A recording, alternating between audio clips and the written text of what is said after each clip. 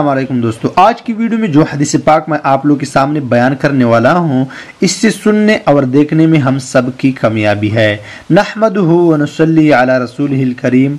अम्मा बाद फ़ाऊज़बिल्लिमिनशैतानरजीम बसमीम हज़रत अबादा रज़ी अल्लाह तु कहते हैं कि मुझे मेरे महबूब हजूर अकदसल्ला ने सात नसीहतें की की है, जिनमें से चार ये हैं। अव्वल ये कि अल्लाह का शरीक किसी को न बनाओ, चाहे तुम्हारे टुकड़े टुकड़े कर दिए जाए, या तुम जला दिए जाओ, या तुम सूली पर चढ़ा दिए जाओ।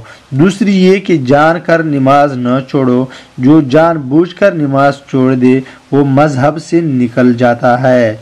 तीसरी ये कि अल्लाह ताला की नफरमानी न करो, कि इससे हक ताला शानहू नाराज़ हो जाते हैं चौथी ये कि शराब न पियो कि वो सारी ख़ताओं की जड़ है।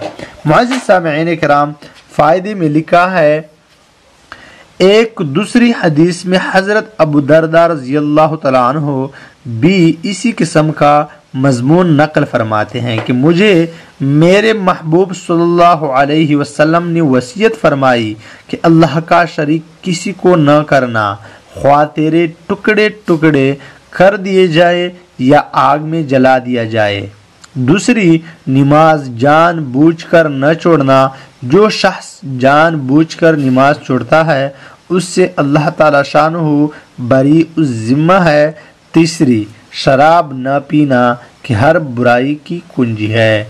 मुआज़ सामीन कराम, जो लोग जान बूझ कर नमाज़ छोड़ देते हैं, वो अल्लाह जल की ज़िम्मा से निकल जाता है। मुआज़ सामीन कराम, जो लोग अल्लाह की ज़िम्मे से निकलते हैं वो आप लोग का पता है कि उसका अंजाम किया होगा और जिस, जो लोग अल्लाह जल शाह अपने ज़िम्मे में डालते हैं, जो लोग नमाज़ पढ़ते हैं, वो अल्लाह ताला का ज़िम्मा है कि वो जन्नत में दाखिल करेंगे। तो माजी सामीन कराम इन आज के बाद हम नमाज़ को पाबंदी से अदा करने की कोशिश करेंगे। वाखरुदावाना अलहमदिल्ला रबालमीन